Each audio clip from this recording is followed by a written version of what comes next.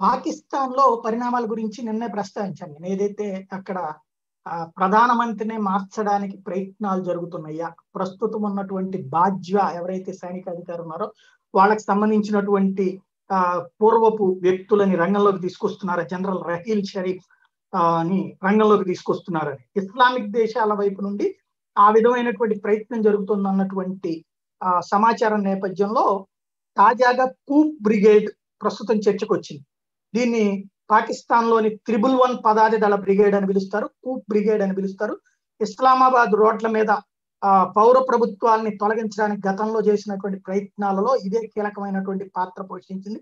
ఒక ముషారఫ్ కావచ్చు గతంలో బుట్టోల ప్రభుత్వాన్ని గద్దెదించేటువంటి సందర్భంలో కావచ్చు ఆ అదే కీలకమైనటువంటి పాత్ర పోషించింది.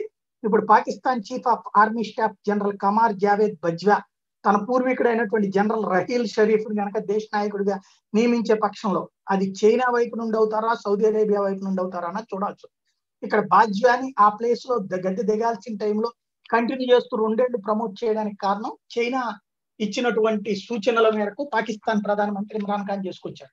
అయితే ఆ బాజ్వాకి తెలుసు చైనాని ఎక్కువ కాలం నమ్మలేము. ఈవెన్ సైన్యంలో చైనాకి వ్యతిరేకంగా చైనా సైన్యం పాకిస్తాన్లో ఉండడాన్ని వ్యతిరేకించినటువంటి దాదాపు యాభై మంది అధికారులు బాజ్వా వచ్చాక తొలగించారు. కాబట్టి ఆయన చైనా మనిషి అన్నటువంటి కోణంలోనే సౌదీ అరేబియా పక్కన పెట్టింది ఇస్లామిక్ కంట్రీస్ పక్కన పెట్టింది.